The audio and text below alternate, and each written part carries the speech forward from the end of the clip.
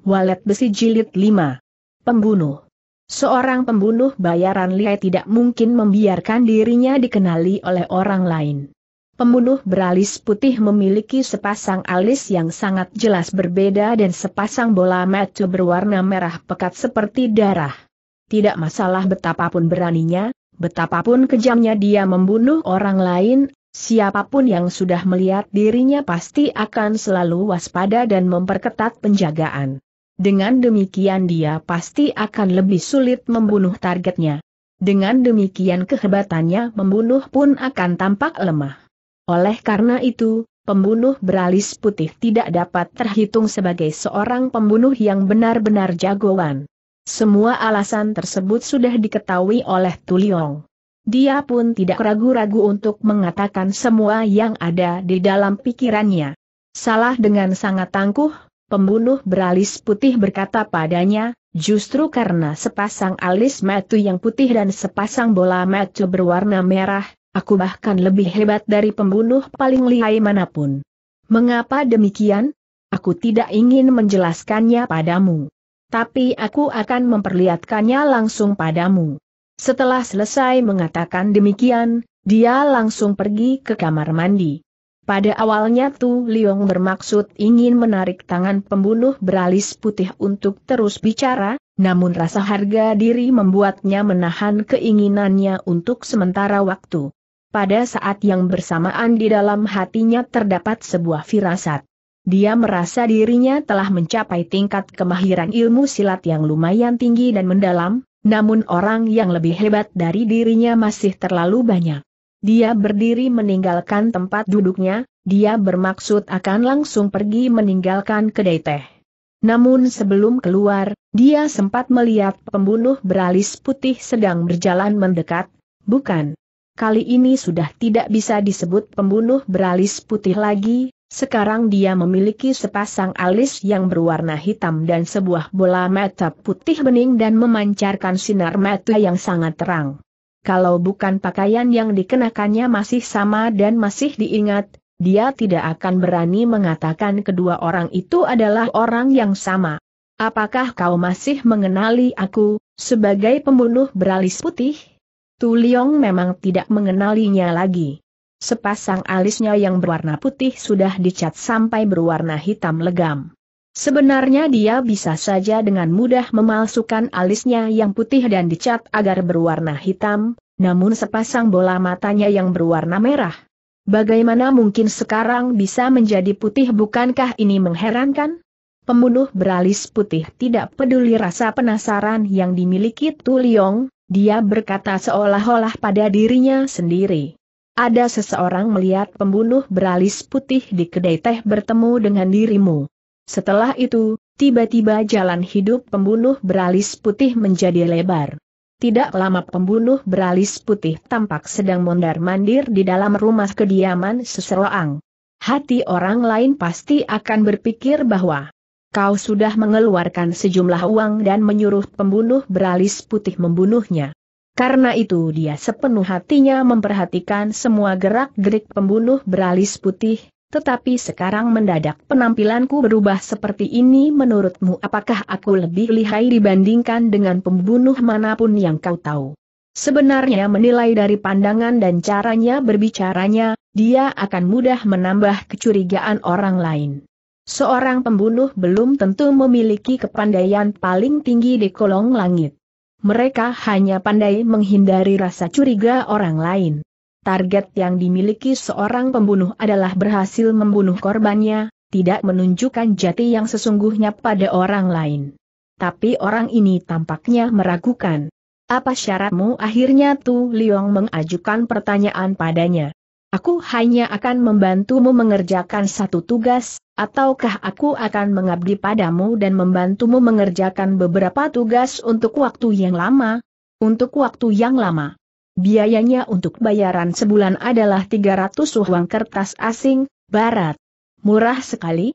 Dengarkan dulu sampai habis, setelah membunuh seseorang harus menambahkan seribu mata uang kertas asing.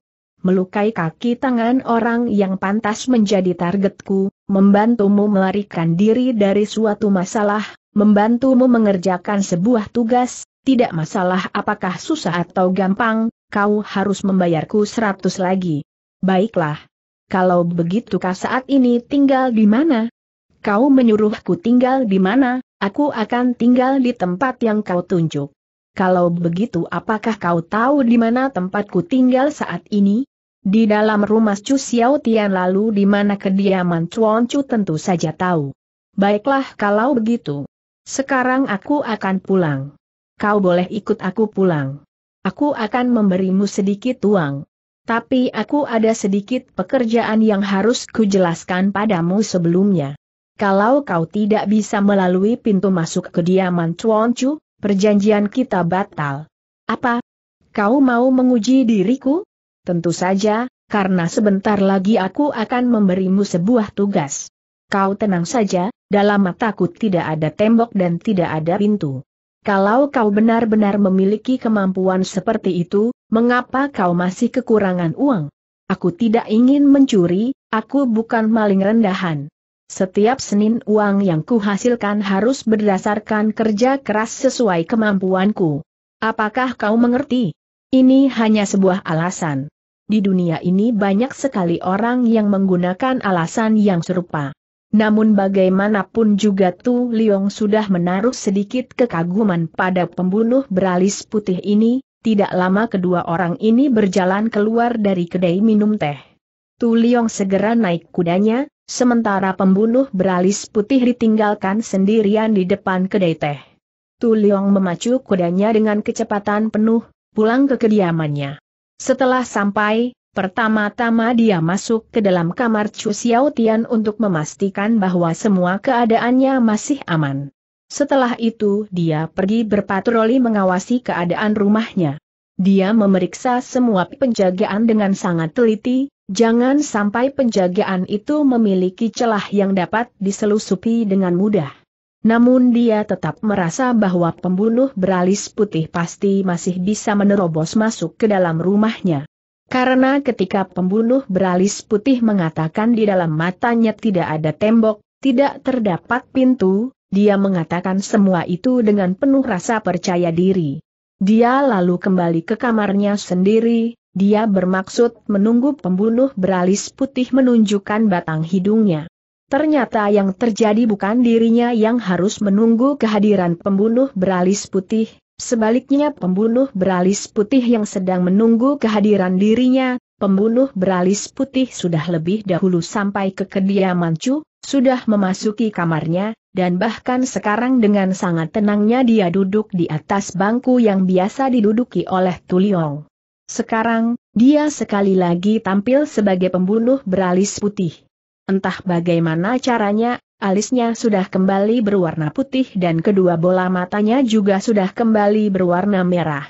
Namun sinar mata yang berkilau tajam tampaknya masih terlihat jelas di dalam kedua mata aslinya. Sepatah kata pun tidak diucapkan oleh Tu Liong, dia terus berjalan mendekati sebuah lemari dan membuka sebuah laci penyimpanan rahasia. Dari dalam laci tersebut dia mengambil empat lembar uang kertas orang asing. Chu Xiao Tian tidak terlalu ketat mengawasi keuangan dirinya, membuat dia masih sanggup menyimpan sedikit uang untuk digunakan. 400 uang kertas asing tanya pembunuh beralis putih dingin. 300 uang kertas asing setiap bulan pasti akan kubayar, 100 lagi akan dibayar setelah kau membantuku menyelesaikan sebuah tugas. Kau belum mau menyuruhku untuk membunuh seseorang? Saat ini aku belum membutuhkannya kau ingin aku membereskan urusan apa?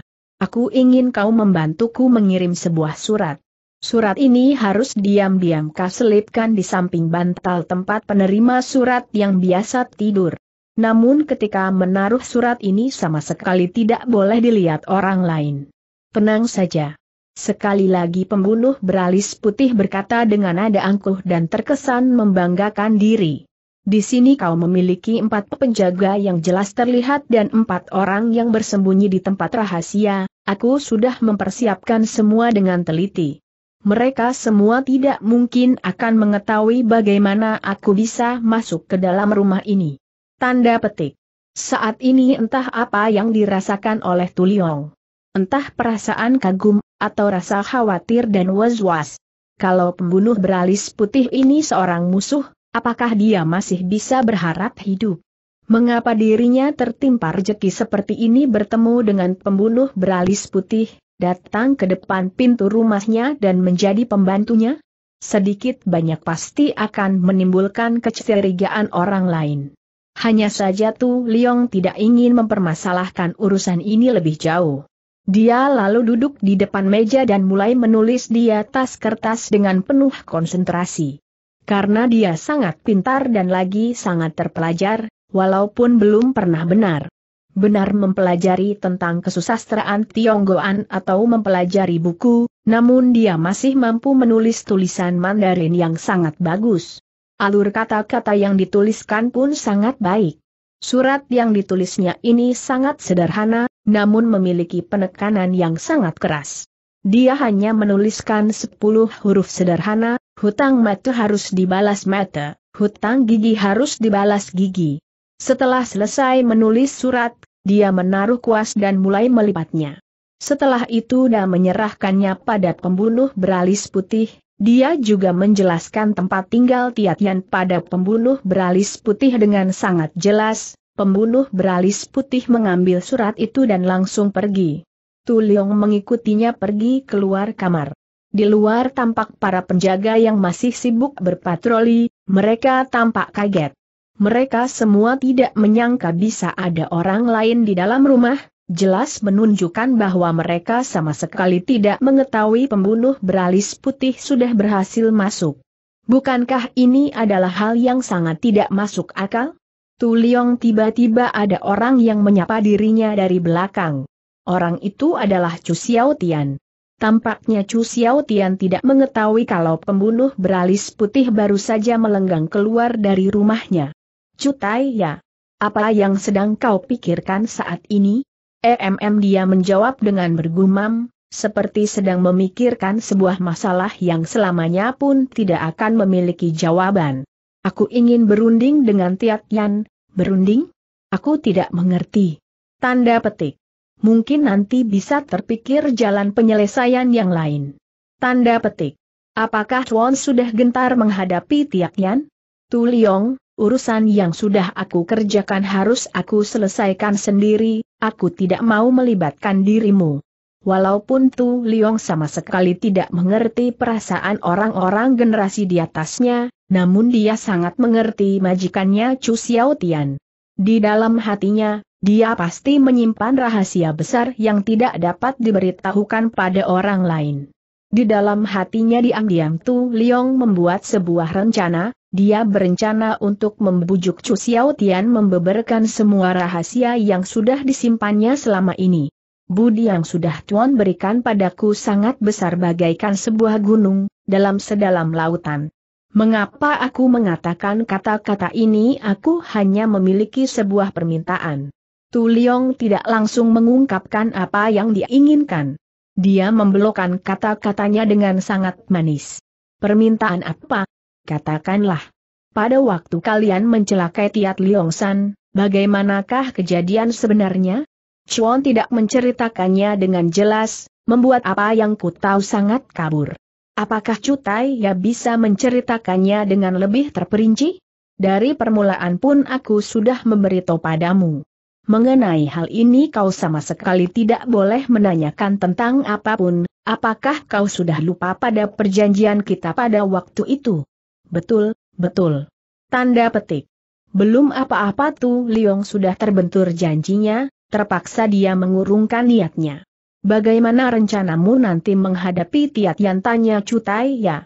Mengenai hal ini aku harus memikirkan apa yang Chuan inginkan dulu.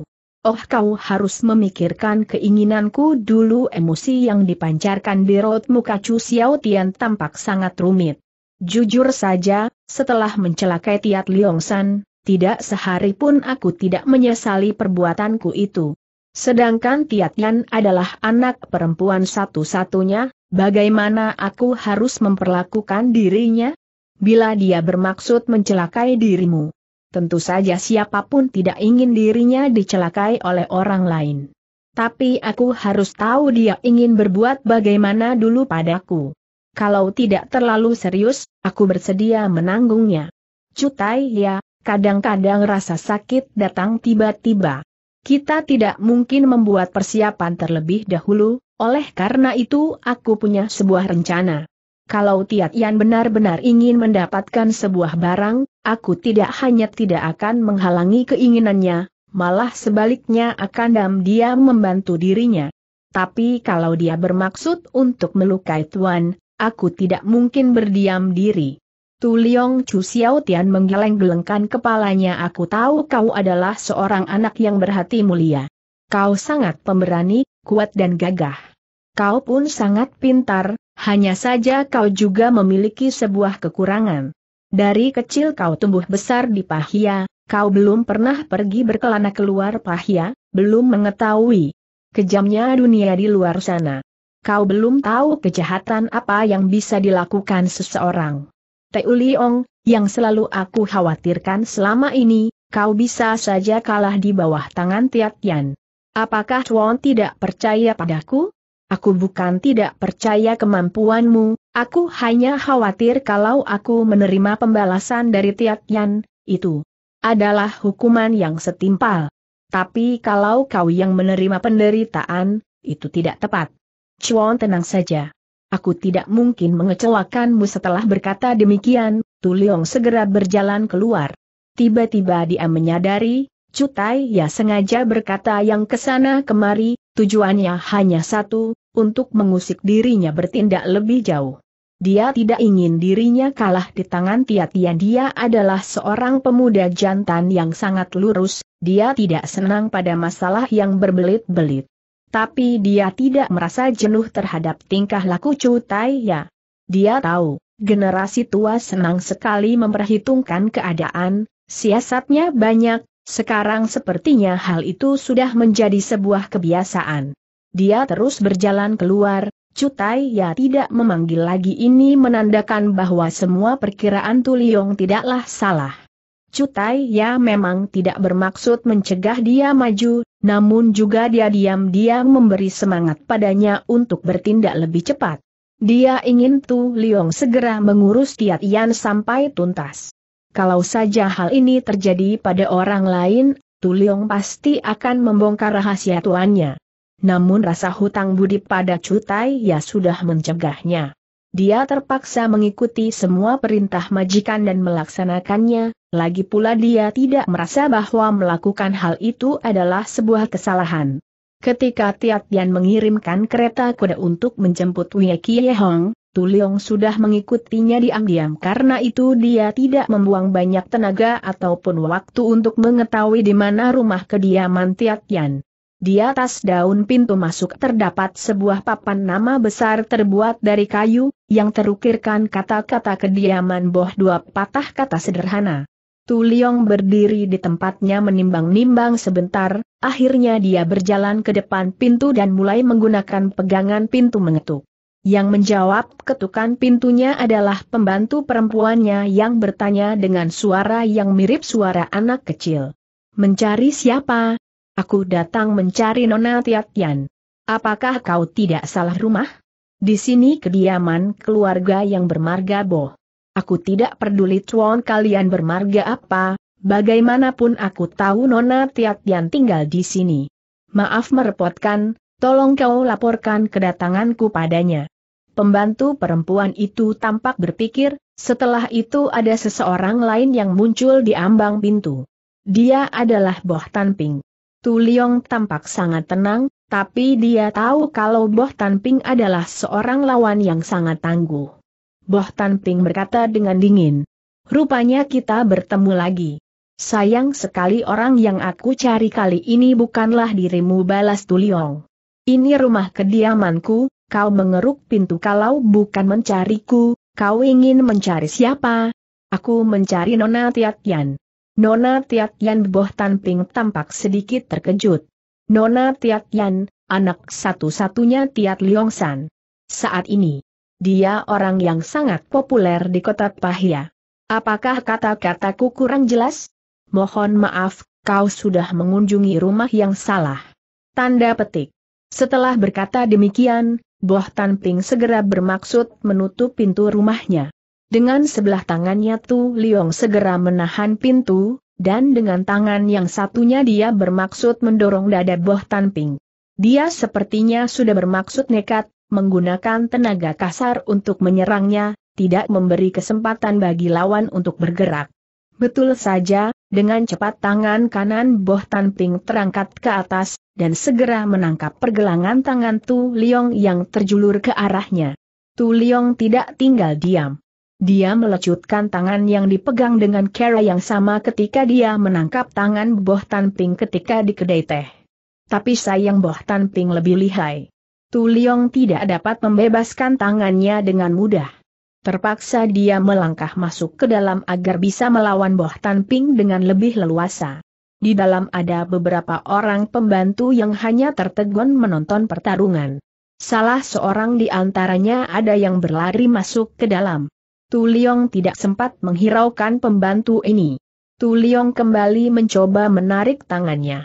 Boh Tan Ping sengaja melepaskan tangannya secara mendadak. Tapi selain itu dia juga melontarkan tangan Tu Liong dengan kuat. Hah! Tu Liong terlonjak ke belakang dan mundur beberapa langkah.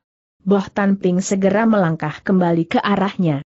Tangan kanannya sudah terjulur kembali ke arahnya berusaha menggenggam baju Tuliong. Tuliong menghindar dan menepis dengan tangan kirinya. Tangan kiri Boh Tan Ping tidak tinggal diam. Tangan ini pun segera terjulur berusaha mencengkram bahunya. Tangan kanan Tu Liong bergerak tidak kalah cepat. Dia berhasil menggenggam pergelangan tangan Boh Tan Ping. Ini adalah kesempatan satu-satunya untuk menyerang dengan sungguh-sungguh. Dia menarik tangan kanannya dengan kuat. Tubuh Boh Tan Ping segera tertarik mendekat Tu Liong. Ketika sudah dekat, kaki Tu Liong segera terangkat untuk menendang Boh Tan Ping. Boh Tan Ping tampak sangat tenang. Tangan kirinya yang bebas segera menepis kakinya. Berbarengan dengan itu, dia berkelit dan berputar ke arah kiri. Tuliong jadi menendang udara kosong. Gawat, pikir Tuliong. Sekarang posisinya sedikit tidak menguntungkan. Sekarang Boh Tanping balik menyerangnya. Karena sedang berdiri menyamping, dia tidak dapat mengelak serangan dengan mudah. Betul saja, tangan Boh Tanping sudah terjulur kembali ke arahnya. Segera tangan kiri Tu Liong menyambut. Akhirnya kedua orang ini saling bergenggaman tangan. Boh Tan Ping segera mendorongnya keluar. Tu Leong melompat menghindari palang pintu masuk yang ada di lantai. Kali ini Boh Tan Ping masuk dalam perangkap. Tampaknya Tu Leong sudah bersiap membalas perbuatannya ketika di kedai teh waktu itu. Sekarang posisi mereka berada berseberangan. Tu Leong di luar pintu masuk, Boh Tan Ping di dalam. Setelah Tu Liong meloncat keluar, dia segera melepaskan genggaman tangan kanannya. Tangan ini menjulur ke sebelah kanan, segera dia menggenggam gelang baja yang digunakan untuk mengetuk. Pada waktu ini dia segera menarik Boh Tanping keluar, dan berbarengan menarik gelang baja yang menempel di pintu. Daun pintu yang tebal dan berat itu menabrak bahu kanan Boh Tanping dengan keras. Kini bahunya jadi terjepit.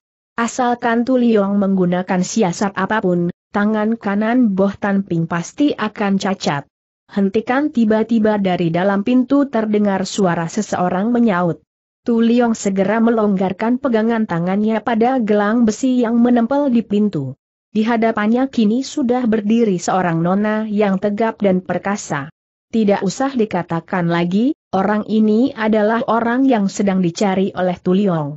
Boh Tanping benar-benar merasa marah, sepertinya mulutnya sudah siap menyemburkan api saja namun di hadapan Tiat Yan, dia hanya bisa menelan emosinya dan mundur. Datang ke rumah orang lain dan mencari perkara, bukankah ini sangat keterlaluan dengan satu langkah besar saja, Tiat Yan sudah berada di hadapan Tuliong. Nona juga sudah datang ke rumah orang lain dan mencelakai mereka, apakah ini tidak keterlaluan? Baiklah, tadi aku sudah membaca pesanmu yang kau selipkan di pinggir bantalku. Metus sudah dibalas Metus sekarang untuk apa kau datang kemari? Dalam hatinya, diam-diam Tu Liong merasa senang, Sepertinya pembunuh beralis putih sudah melakukan tugasnya dengan sangat baik. Selain itu dia juga merasa senang dirinya memiliki seseorang yang demikian mahir yang ada di sisinya membantu dia. Dia juga senang karena saat ini dia berdiri di depan Tiat Yan dan berhasil mengangkat sedikit harga dirinya. Nona, aku ada sedikit urusan yang harus dijelaskan padamu huruf yang dituliskan di atas kertas saja tidak akan mampu menggambarkan apa yang ingin aku ceritakan. Oleh karena itu aku harus datang kemari dan menjelaskan langsung padamu. Urusan apa itu? Nona, kau punya kepintaran, orang lain juga masing-masing punya kepintaran. Kalau kau berpikir ingin datang ke Pahya dan langsung menjadi jagoan besar di sini, kalau begitu kau sudah salah besar kau jauh-jauh datang kemari, apa hanya demi mengatakan hal ini? Tentu saja masih ada satu urusan yang paling penting katakanlah. Aku pasti akan mendengarkan penjelasanmu. Dengan baik. Nona sudah melukai empat orang, dendam yang besar sudah terbalaskan, kau tidak perlu lagi tinggal di dalam kota, kalau dalam waktu tiga hari ini kau tidak pergi, kau akan merusak hubungan baik dengan seseorang merusak hubungan baik dengan siapa merusak hubungan baik di antara kau dan aku. Aku tidak begitu mengenal dirimu. Aku juga tidak punya hubungan yang baik, begitu pula hubungan yang buruk dengan dirimu. Sebenarnya tidak begitu, budinya Cutai ya padaku seperti sebuah gunung. Kau diam-diam meninggalkan surat di dalam kediamannya dan menakut-nakuti dirinya, aku sama sekali tidak bisa masa bodoh. Oh Tiat Yan tertawa dingin dan berkata, Baik sekali, asal saja Chu Xiao Tian menyerahkan barang yang sedang kucari selama ini, aku pasti akan segera pergi. Barang apakah itu? Ketika ayahku dicelakai, dia membawa sebuah kopor kulit berwarna kuning. Kopor itu tidak digunakan sebagai barang bukti, juga tidak diumumkan pada keluarga yang ditinggalkan untuk diambil. Jelas barang ini sudah diambil oleh orang lain. Apakah barang yang diinginkan oleh Nona adalah kopor kulit berwarna kuning? Betul. Kopor kulit berwarna kuning, jumlahnya pasti sangat banyak sekali, apalagi yang ukurannya, warnanya, atau bentuknya sama pasti jumlahnya sangat banyak. Walaupun Nona mencari kopor ini sampai puluhan tahun, aku khawatir bukanlah sebuah hal yang mudah. Paling baik Nona bisa mengatakan padaku, apakah barang yang tersimpan dalam kopor tersebut. Aku yakin sebenarnya barang yang diinginkan oleh Nona adalah barang yang berada di dalam kopor tersebut, apa benar? Tiatian hanya bisa termenung saja. Tu Liong terus menatap dirinya lekat-lekat. Seolah-olah jawaban semua rahasia yang dicarinya selama ini tertulis dengan jelas pada wajah Nona Tiatian. Setelah beberapa lama, Tiatian mulai membuka mulut dan berkata, Aku tidak ingin menutupinya, sebenarnya aku sendiri pun tidak tahu barang apa yang sudah tersimpan di dalam kopor kuning yang sedang ku cari itu. Kalau begitu ini benar-benar aneh. Kalau Nona tidak tahu barang apa yang ada di dalam kopor kulit yang berwarna kuning, untuk apa Nona membuang-buang waktu, tenaga dan pikiran untuk mencari kopor tersebut? Kau tidak bisa mengatakan demikian oh? Tu Liong, aku tidak punya waktu untuk berdebat kusir denganmu, berargumentasi tanpa hasil yang jelas. Pada waktu ayahku sudah dicelakai, aku harus mencari tahu sampai jelas apa alasannya. Kalau urusan balas dendam, ayahku tidak memiliki masalah apa pun dengan mereka, aku sudah mencari tahu sampai bertahun-tahun lamanya, ketika ayahku dihukum mati, kopor ini tidak terlihat lagi. Aku menebak bahwa alasan ayahku mati pasti ada kaitannya dengan isi kopor tersebut. Katakan saja kopor tersebut dipenuhi dengan uang. Kalau begitu ayahmu sudah kehilangan nyawanya demi membela harta, betulkah demikian? Orang-orang yang mencelakai ayahku tidak perlu membunuh orang lain hanya demi sedikit uang. Kalau memang kopor tersebut dipenuhi dengan uang, sepertinya uang yang muat ke dalam kopor pun tidak begitu banyak. Kalau begitu, kau tidak perlu bertanya lebih jauh tentang kopor tersebut. Rasanya tidak tepat Nona berkata seperti ini kau tadi sudah mengatakan bahwa asalkan kopor kulit kuning tersebut sudah kau miliki, kau pasti akan segera pergi meninggalkan kota. Kalau kau pergi, aku tidak akan lagi melewati hari-hariku dengan merasa khawatir, tentu saja aku harus membantumu mencari kopor tersebut. Oh apakah kau serius dengan kata-katamu? Aku tidak ingin menutupi. Sebelum aku datang kemari untuk menemuimu, aku sudah mencari tahu tentang kopor ini beberapa jam sebelumnya, aku sudah menemukan sebuah kopor kulit berwarna kuning seperti yang tadi diceritakan, sayang sekali di dalamnya tidak terdapat barang apa pun. Aku sudah tahu Tiatian menjawab dengan dingin. Kau sudah tahu. Tentu saja aku tahu. Kopor kulit itu bukan kopor kulit yang dahulu dibawa oleh ayahku. Kalau memang betul itu adalah kopornya, mana mungkin kopor itu bisa jatuh ke dalam tanganmu? Sekarang Tu Liong tidak lagi memburu dengan pertanyaan. Dia hanya menceritakan semua kejadian yang sudah dialaminya, setelah itu dia berkata, Kalau begini duduk perkaranya, aku masih punya sebuah permintaan padamu. Silahkan bertanya sesuka hatimu, namun aku tidak berjanji menjawabnya. Seseorang terbunuh di dalam kamar kediaman Bu Tiat Cui pagi ini.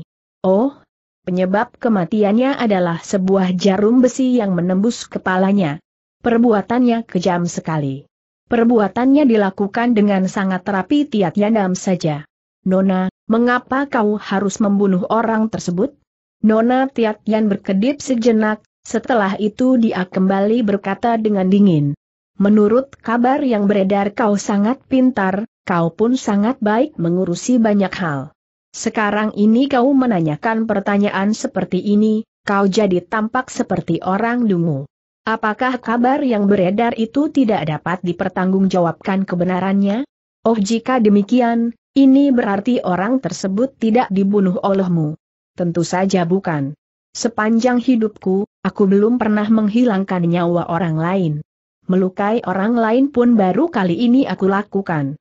Dalam hatinya Tu Liong diam-diam merasa kaget, kalau Tiatian tidak membunuhnya, siapakah pelaku pembunuhan orang itu? Jangan-jangan masih ada orang lain yang mengejar kopor kulit berwarna kuning tersebut. Suatu saat nanti mungkin juga aku akan membunuh seseorang, hanya satu orang yang akan aku bunuh. Selain orang itu, asalkan orang lain tidak berurusan denganku, aku akan menjamin kalau orang itu tidak akan menjumpai masalah. Siapakah orang yang kurang beruntung itu? Tiatian berkata perlahan-lahan, patah demi patah kata diucapkan dengan jelas. Chu Xiao. Ini adalah jawaban yang sudah diduga jauh sebelumnya. Oleh karena itu sedikit pun Tu Liong tidak merasa kaget, di dalam hatinya dia sudah memikirkan sebuah pertanyaan yang lain. Kalau orang yang mati tertusuk jarum besi di kepalanya bukan dibunuh oleh Tiat Yan, bukankah ini berarti masih ada orang lain lagi yang diam-diam sedang melancarkan aksinya?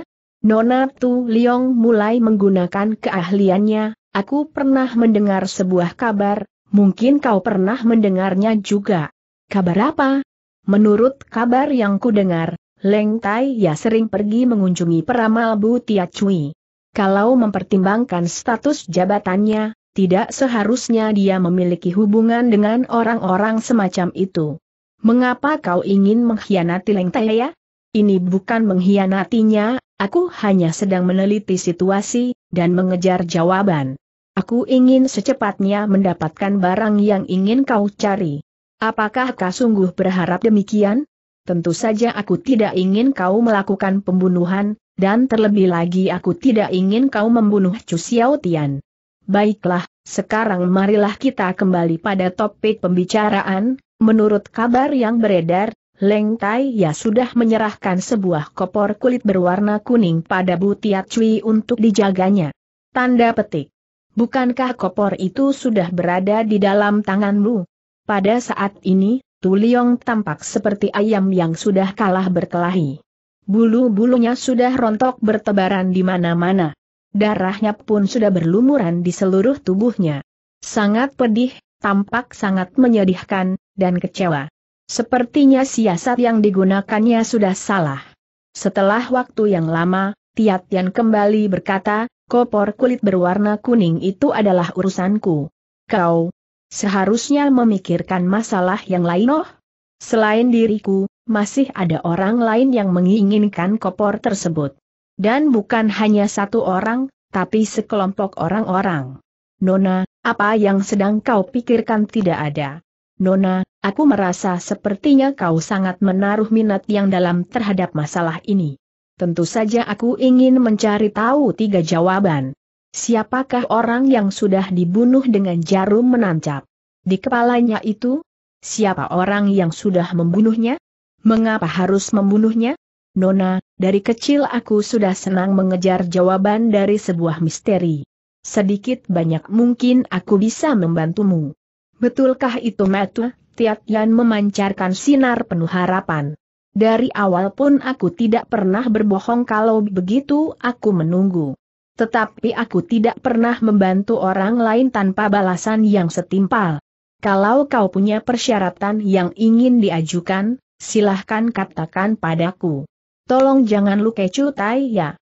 Tuliong suara Tiat terdengar penuh perasaan, aku mengerti maksud hatimu, namun aku tidak bisa menyetujui persyaratanmu ini alasannya adalah kita berdua sama-sama tidak bisa merubah apa yang akan terjadi di masa mendatang. Sekarang ini entah berapa lama kita berdua bisa mempertahankan posisi setengah teman setengah musuh seperti ini benar. Kalau begitu, kita berdua harus berdiri berhadapan sebagai musuh raut muka Tu Liong menjadi gelap. Kalau terpaksa, aku dan kau akan bertarung habis-habisan Tiatlan mengatakan semua ini dengan nada datar. Namun aku tidak ingin kau menghamburkan uang pada orang yang tidak jelas untuk menghadapiku. Orang yang tidak jelas? Orang seperti pembunuh beralis putih. Tu Liong diam-diam merasa sangat kagum, Tiatian sepertinya selalu mengetahui semua yang dilakukannya. Sepertinya dia adalah seorang ahli memecahkan misteri. Tuliong perkataan Nona Tiat yang terdengar penuh makna. Aku bukan takut pada pembunuh beralis putih, hanya saja aku takut orang lain mentertawakan dirimu. Di dalam kota Pahya ini, kau bisa dibilang adalah seseorang yang memiliki kedudukan. Sekarang kau berhubungan dengan orang semacam itu, apakah itu pantas? Tuliong sengaja menyinggungnya. Nona, apakah kau takut pada pembunuh beralis putih sampai harus berkata seperti itu? Kalau kau ingin aku mati di dalam tangan orang yang seperti itu, aku tidak akan rela aku sama sekali tidak takut padanya. Tuliong, aku juga ingin menggunakan kesempatan ini untuk menyampaikan apa yang ada di dalam pikiranku. Apa kau tidak pernah merasa takut pada orang lain Tu Liong mewakilkan Tiat Tian mengucapkan apa yang mungkin sedang dipikirkannya. Betul kadang-kadang aku menaruh rasa hormat terhadap musuhku, juga menghargai musuh-musuhku. Tapi bukan saja aku tidak mungkin merasa takut pada musuh, jujur saja aku katakan, merasa takut pun tidak ada gunanya. Bagaimana pandangan dirimu terhadap pembunuh beralis putih? Tidak buruk, dia adalah pendekar kelas 1, namun tidak bisa disejajarkan bersama-sama dengan pendekar kelas atas.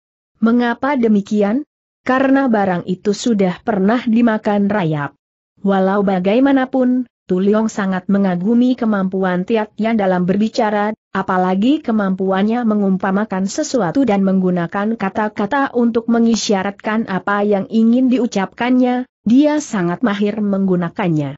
Dia juga sangat berwibawa, dia, dia juga lumayan cantik. Di dalam hati Tu Liong, Tiatian sepertinya hanya memiliki sebuah sisi negatif sayang dia adalah seorang musuh. Sungguh suatu hal yang sangat disayangkan. Nona tiba-tiba saja Tu Liong berkata dengan penuh semangat, kau tenang saja, aku tidak mungkin menyuruh orang seperti pembunuh beralis putih untuk menghadapimu. Kalau begitu aku merasa berterima kasih. Bicara terus terang, aku paling takut kotor, apalagi orang yang kotor hatinya. Tiba-tiba Tu Liong sadar kalau sekarang dia sudah kehabisan kata-kata. Kehabisan kata-kata di depan Tiat Ian sungguh memalukan. Karena itu dia tiba-tiba saja mohon diri, segera memutar tubuh dan berjalan pergi. Dia tidak tahu harus bagaimana memaksakan diri terus berada di sana. Tu Liong belum menentukan di mana dia akan menemui pembunuh beralis putih, namun dia mengerti karakter para pembunuh semacam ini. Orang seperti itu selalu menjaga kerahasiaan identitasnya. Oleh karena itu dia pergi ke kedai teh Tong Cheng tempat pertama dia bertemu dengan pembunuh beralis putih. Ternyata memang benar dia sedang berada di sana. Kau pasti merasa sangat puas pembunuh beralis putih berkata dengan sombong. Hasil kerjamu memang sangat memuaskan.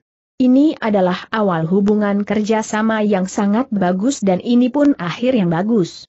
Apa arti kata-katamu itu sepasang bola mata pembunuh beralis putih yang berwarna merah sekarang melotot. Ada beberapa urusan yang harus aku kerjakan sendiri arti tersirat yang ingin dikatakan oleh Tu Liong sangat jelas. Pembunuh beralis putih tertegun. Apakah kau ingin mengatakan kalau aku dipecat? Tidak. Kau sudah melakukan pekerjaanmu dengan sangat baik. Aku tidak mungkin mengembalikan uang yang sudah kau berikan, karena aku memiliki hutang. Uang itu sudah aku berikan pada orang lain. Kau tidak perlu mengembalikan uang itu. Kau sangat dermawan, tapi aku tidak suka menerima pemberian orang lain begitu saja. Aku sudah mengambil luang sewa kontrakmu selama sebulan, tentu saja dalam waktu sebulan ini kapan pun aku harus mendengar semua perintahmu. Kau tidak berhutang apa pun padaku. Ini bukanlah sebuah pemberian tanpa hasil yang sesuai, pekerjaan yang sudah kau lakukan tadi sudah dibalas setimpal dengan 400 uang barat, apakah ini tidak cukup? Tidak bisa mengapa? Aku sudah mengatakan, Aku tidak suka menerima uang tanpa menghasilkan apa-apa. Apakah kau berpikir ingin menggunakan care ini untuk mengikatku? Terserah kau ingin berpikir apa, dalam waktu sebulan ini aku pasti akan muncul di dekat dirimu, aku akan mendengarkan semua perintah yang kau berikan. Tiba-tiba saja tangan kanan Tu Liong melesat bagai petir. Tangannya segera menyambar pergelangan tangan pembunuh beralis putih. Sepertinya dia ingin menguji kemampuan lawannya. Pembunuh beralis putih sama sekali tidak bergerak, dia membiarkan pergelangan tangannya dipegang erat-erat. Dia hanya bertanya pada Tu Liong dengan nada dingin. Apa maksudmu melakukan hal ini? Aku hanya ingin mengatakan padamu bahwa apa pun yang bisa kau lakukan, aku pun bisa melakukannya. Sekarang aku tahu. Pembunuh beralis putih, kalau kau melakukan pekerjaan ini demi mendapatkan uang, kau seharusnya sudah merasa puas. Tapi kalau kau memiliki niatan yang lain, kau adalah orang yang benar-benar bodoh. Sebenarnya pada dasarnya orang-orang yang melakukan pekerjaan seperti diriku adalah orang-orang yang bodoh. Tu Liong melepaskan genggaman tangannya dan segera berjalan keluar. Kedua alis yang berwarna putih dan sepasang bola mata berwarna merah darah memburu ke depan.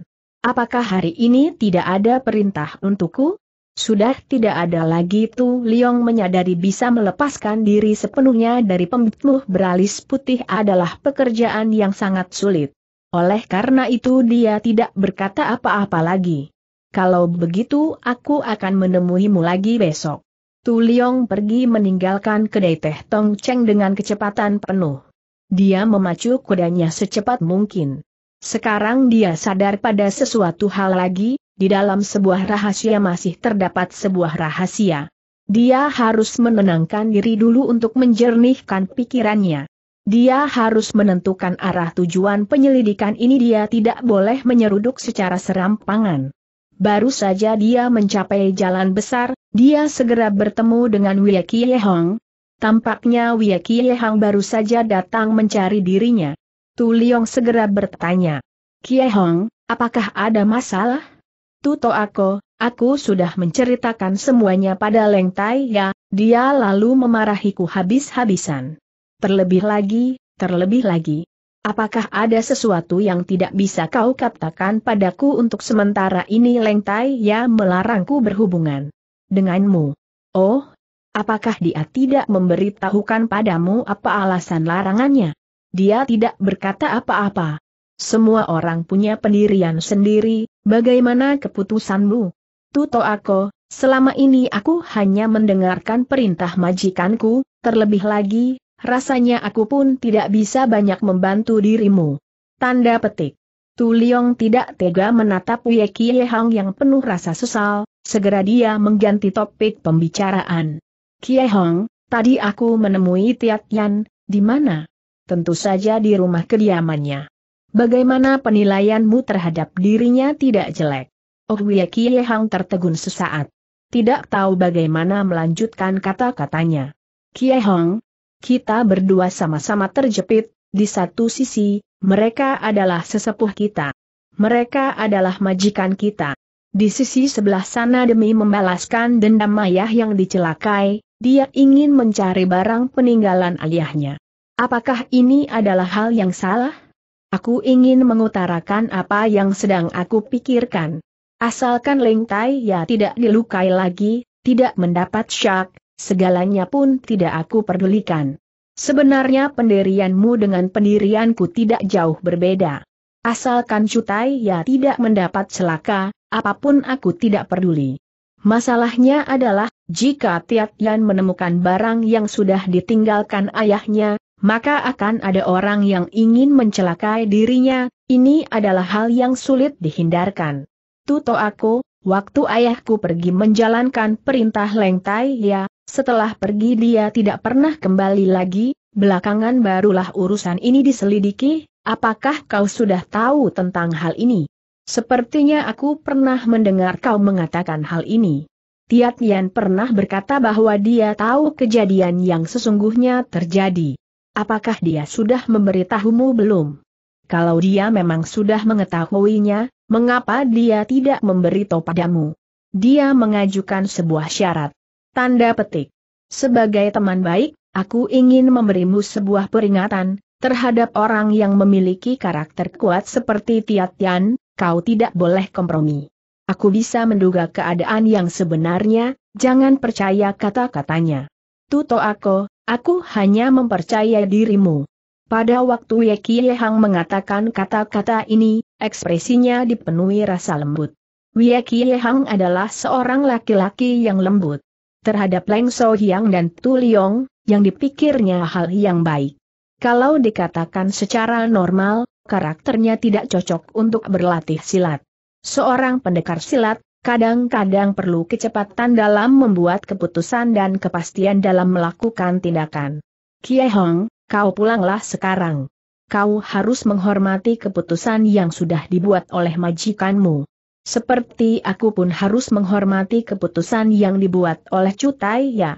Untuk sementara waktu ini, kita berdua tidak saling bertemu pun tidak apa-apa, kalau nanti ada berita bagus, aku pasti akan pergi memberitahumu. Tuto aku, kalau begitu, kalau begitu aku harus meminta maaf padamu. Kie Hong, kalau aku membutuhkan bantuanmu, aku pasti akan mencari dirimu, mungkin nanti kau harus keluar menolongku. Kita lihat saja nanti Wei Kie Hang sudah tidak berani melanjutkan kata-katanya lagi. Kedua orang ini berpisah di tengah jalan. Ketika Wei Kie Hang membalikan tubuh dan akan melangkah pergi, Tu Leong mengernyitkan keningnya dalam-dalam, jelas terlihat dia kesal sebab untuk sementara waktu ini dia kehilangan satu-satunya orang yang dapat menolongnya ini bukan suatu hal yang mudah dilewatkan begitu saja. Akhirnya Tu Liong kembali memacu kudanya pergi, langkah kudanya sama gontai dengan pikirannya yang kacau, di dalam kepalanya berseliweran banyak urusan yang tidak menentu. Secara tidak terasa dia berjalan masuk ke dalam sebuah gang yang sepi, sebenarnya tidak bisa dikatakan secara tidak sadar, Gang ini adalah gang yang harus dilalui kalau ingin kembali ke rumah kediaman Cutai ya. Tiba-tiba saja ada orang yang menghadang jalannya. Tu Liong sadar dari lamunannya. Orang ini berpakaian sangat aneh. Dia mengenakan pakaian serba hitam yang panjang menyelubungi tubuhnya, saat itu orang yang mengenakan pakaian hitam sangat jarang ditemui. Kepalanya mengenakan sebuah topi kupluk, Topi ini dikenakannya sangat rendah sehingga menutupi raut mukanya. Tu Liong tidak dapat melihat wajahnya dengan jelas. Tu Liong langsung merasa ada sesuatu yang kurang beres. Saudara, aku ingin meminta suatu barang padamu orang. Itu berkata dengan dingin. Oh Tu Liong sama sekali tidak menyangka lawannya akan berlaku seperti itu dia tertegun beberapa saat. Kau ingin minta barang apa? Bahu kananmu, baru saja kata-katanya diucapkan setengah jalan, orang itu sudah meluncur ke arah Tu Liong bagaikan panah yang terlepas dari busurnya. Biasanya orang yang mengenakan jubah panjang yang berat tidak akan bisa bergerak dengan mudah.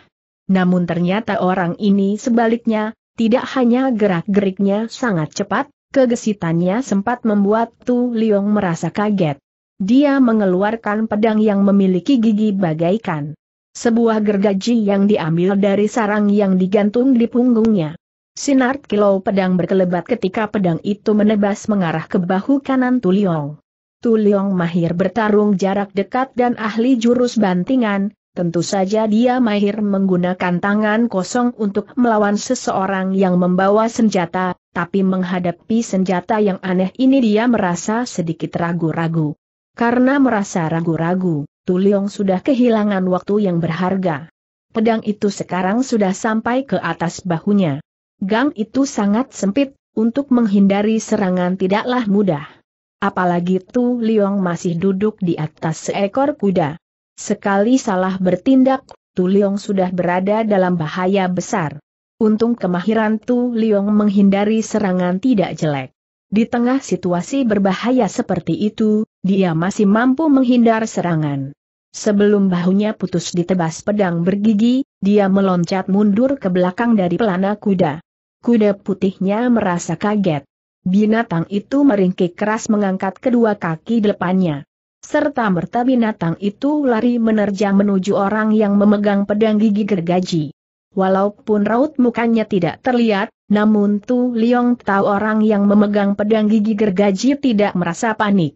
Dengan tetap tampak tenang, dia menendang tembok yang ada di sebelah kirinya dan membuatnya menjadi injakan untuk meluncur ke atas. Kuda berlari semakin dekat. Ternyata orang yang memegang pedang gigi gergaji belum cukup loncatannya untuk menghindari terjangan kuda. Sekali lagi dia menendangkan kaki kirinya ke tembok di sebelah kanannya. Sekarang dia sudah berada cukup tinggi di atas kuda.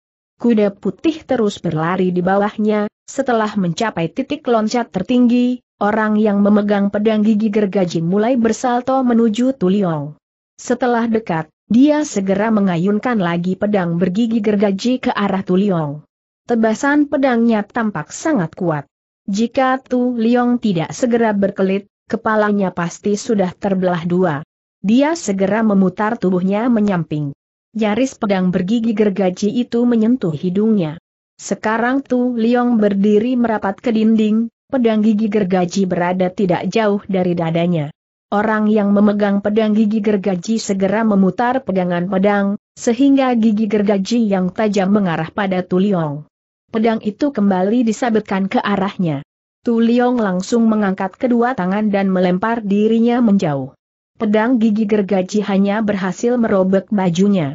Orang yang memegang pedang gigi gergaji tidak membuang waktu. Dia kembali menusukkan pedang bergigi gergaji ke arah dada Tuliong. Serangan beruntun ini sangat cepat. Tu Liong kaget. Terpaksa dia menggunakan kedua telapak tangannya untuk menghentikan laju tusukan pedang. Tu Liong terseret mundur beberapa langkah. Orang yang memegang pedang gigi gergaji segera mendorong pedang gigi gergaji ke arah bawah. Pedang itu terlepas dari jepitan telapak tangan Tu Liong. Setelah terlepas, pedang itu segera ditarik lagi ke arah atas. Secara refleks Tu Liong menarik kedua tangannya. Kalau gerakan Tu Liong tidak cukup cepat, dia pasti sudah kehilangan kedua pergelangan tangannya. Tu Liong melangkah mundur. Setelah beberapa saat, dia menyadari kalau bajunya sudah koyak-koyak karena serangan pedang yang beruntun. Berhenti. Tu Liong berteriak keras-keras. Orang itu ternyata menuruti kata-katanya dan menghentikan serangan. Dia bertanya dengan nada dingin. Kau mau minta ampun? Aku hanya ingin bertanya namamu. Aku ingin bertanya apa alasanmu menyerangku. Kau bertanya saja pada Tiak Yan.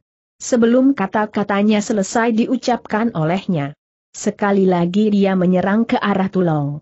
Tuliong menjadi emosi, segera dia mencabut pedang yang diikatkan di pinggangnya. Orang yang memegang pedang gigi gergaji menyabetkan pedangnya memutar secara vertikal dari atas ke bawah. Tuliong juga menyabetkan pedangnya memutar secara vertikal dari bawah ke atas. Kedua pedang ini mengayun cepat. Kilau sinar pedang yang terpancar karena sinar matahari membentuk suatu lengkung cahaya yang indah. Teraangga. Kedua pedang beradu dengan keras. Pedang Tu Liong terpental ke bawah karena kuatnya tebasan orang yang memegang pedang gigi gergaji. Dia memanfaatkan hal ini untuk kembali mengangkat pedangnya memutar dari bawah. Setelah pedangnya berada setinggi kepala, dia segera menyabetkannya secara mendatar ke arah kepala orang yang memegang pedang gigi gergaji. Orang yang memegang pedang gigi gergaji segera menghindar menunduk. Pedang Tu Liong nyaris mengenai topi yang dikenakannya. Orang yang memegang pedang gigi gergaji segera menusukkan kembali pedang gigi gergajinya ke arah Tu Liong. Tu Liong sangat gesit. Dia meloncat dan menginjak pedang yang melaju ke arahnya. Dia menggunakan pedang ini sebagai pijakan untuk meloncat jauh ke belakangnya. Tu Liong bersalto indah di atas punggung orang yang memegang pedang gigi gergaji. Namun belum sempat Tu Liong mendarat, orang yang memegang pedang gigi gergaji sudah membalikan tubuh dan kembali menyerbunya. Baru saja Tu Liong mendarat ketika orang itu kembali mengayunkan pedang gigi gergaji dari atas ke bawah. Tu Liong merasa kewalahan. Segera dia melintangkan pedang yang dibawanya di atas kepala untuk menahan tebasan pedang yang mematikan ini. Teraangga. Kedua pedang kembali beradu. Kepala Tu Liong nyaris terbelah dua, lagi. Serangan orang yang memegang pedang gigi gergaji tidak berhenti sampai di sini. Dia menarik pegangan pedang gigi gergaji. Pedang Tu Liong bergetar hebat ketika gigi gergaji pedang mengiris pedangnya dengan mudah seperti sebuah gergaji yang memotong sebatang kayu yang melintang. Kedua orang ini kembali berdiri berhadapan. Pedang Tu Liong rompal cukup dalam. Untung pedang itu belum belah menjadi dua. Tampaknya nafas kedua orang ini sudah mulai memburu. Ini adalah sebuah pertarungan dahsyat yang menghabiskan banyak tenaga. Segera kedua orang berusaha mengatur nafasnya. Saat istirahat tidak berlangsung lama. Mendadak orang yang memegang pedang gigi gergaji kembali berteriak pada Tuliong. Bahu MUU. Tanda petik. Kembali dia meluncur berlari ke arah Tuliong. Tuliong mengerang singkat. Istirahat singkat itu belum cukup baginya. Sebentar saja pedang gigi gergaji sudah ditusukkan kembali ke arah dadanya. Tu Liong segera menepis pedang gergaji sekuat tenaga. Perang Pedang gigi gergaji terpental ke arah kanan dengan keras. Gang itu sangat sempit. Dinding gang segera menyambut pedang gigi gergaji. Beraak. Debu-debu berterbangan, pecahan dinding batu berjatuhan ke bawah. Tu Liong mengambil kesempatan ini untuk menerjang dengan cepat ke arahnya. Dia menapakkan kakinya dengan keras dan berusaha menyundul orang yang memegang pedang gigi gergaji. Itulah jurus bertarung jarak dekat yang menjadi keahliannya. Namun orang yang memegang pedang gigi gergaji benar-benar tangguh. Dia segera meloncat mundur cukup jauh untuk menghindari serangannya. Setelah mendarat, Tuliong menusukkan pedangnya ke arah dada orang yang memegang pedang gigi gergaji. Orang itu segera mengangkat pedangnya melintang di dada untuk menangkis serangan. Tuliong melihat ada kesempatan emas. Dia segera memanfaatkannya. Tuliong menusuk-nusuk dengan cepat berulang kali ke arah depan. Orang yang memegang pedang gigi gergaji segera melompat mundur sangat jauh untuk menghindar. Kembali mereka beristirahat singkat. Tampaknya tidak satu pun di antara mereka yang masih kuat untuk terus bertarung dengan kepala dingin mereka terjebak dalam kondisi yang menyulitkan.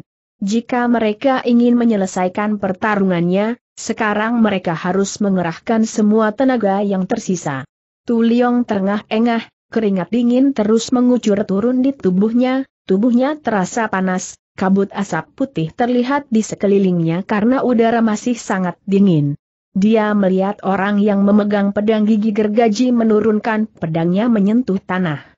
Pertarungan segera akan dimulai kembali. Bahu MUUUU, orang itu kembali berteriak sambil berlari menyeret pedangnya di lantai. Pedang itu membuat percikan bunga api kecil di tanah. Ya ah, ah, ah. Tu Liong pun ikut mengerahkan sisa-sisa tenaganya untuk melawan. Kedua pedang berayun bersamaan saling menyilang. Terdengar suara benturan dua logam yang sangat keras. Tu Liong terpental ke belakang nyaris kehilangan keseimbangan. Tenaga orang yang memegang pedang gigi gergaji memang luar biasa kuat. Tu Liong segera siaga. Namun dia terkejut, ternyata orang itu sudah dekat dengannya. Dia sedang meloncat dan mengayunkan pedangnya kuat-kuat ke arahnya. Gawat! Tuliong meloncat lagi ke belakang jauh-jauh untuk menghindari tebasan maut ini. Pedang gigi gergaji menghantam tanah dengan sangat keras. Batu dan debu bertebaran ke mana-mana. Bagus, satu kesempatan emas lagi, pikir Tuliong. Dia menghentakkan kaki kanannya dan segera meluncur ke depan menyerang orang yang memegang pedang gigi gergaji. Namun alangkah kagetnya Tuliong. Ternyata orang yang memegang pedang gigi gergaji sudah menghilang. Tuliong bengong sesaat. Mendadak dia mendengar suara dari atas. Dia segera menegadah ke atas. Ternyata orang yang memegang pedang gigi gergaji sudah meloncat tinggi dan kembali menghujamkan pedangnya ke bawah. Traan enggak.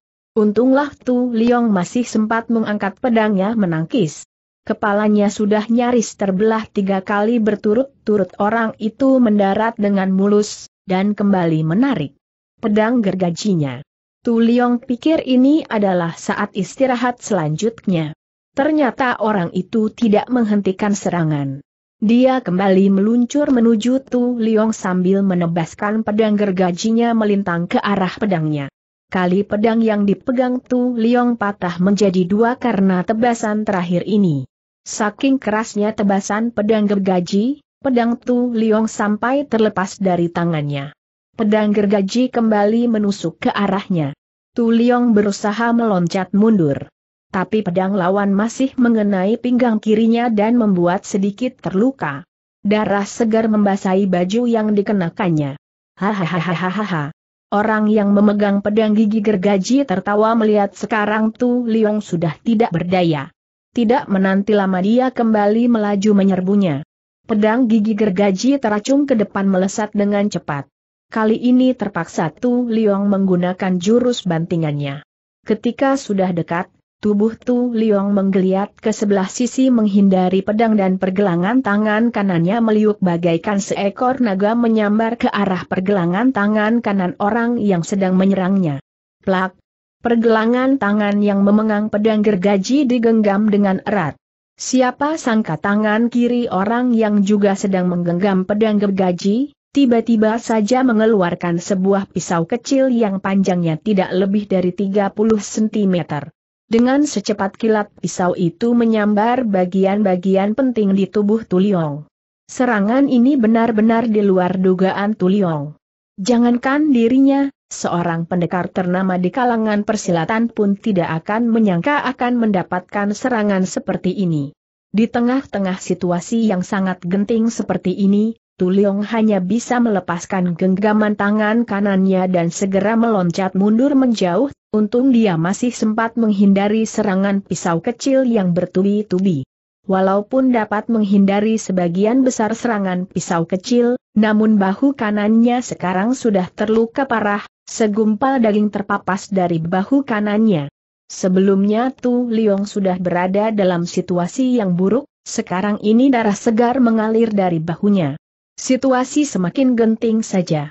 Saudara dari awal orang ini sama sekali tidak menampakkan raut muka aslinya, julurkanlah bahu kananmu, aku berjanji selain mengambil bahu kananmu, kau tidak akan mendapatkan luka apa pun lagi.